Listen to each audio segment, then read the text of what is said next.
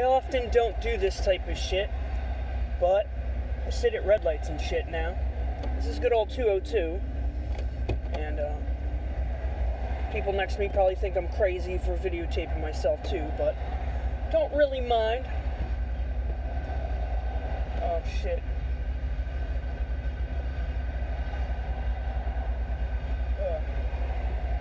I'm tired. It's another boring Saturday afternoon while I wait for this fucking light to change. This is how long this light is.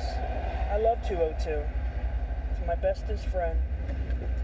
And we do a little leaning to tell the people next to me in the next lane that I'm an asshole and I'm moving.